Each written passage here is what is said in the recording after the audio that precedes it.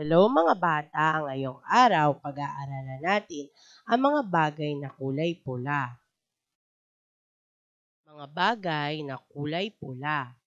Alimango, rosas, laso, kamatis, labi, puso.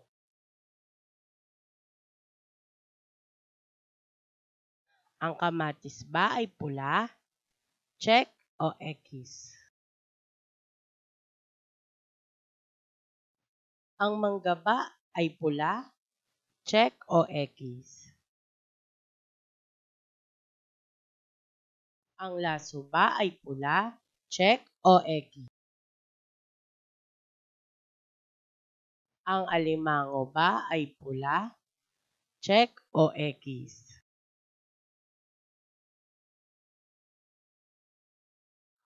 Ang bola ba ay pula? Check o X? Nakuha niyo ba lahat ang wastong sagot, mga bata? Magaling!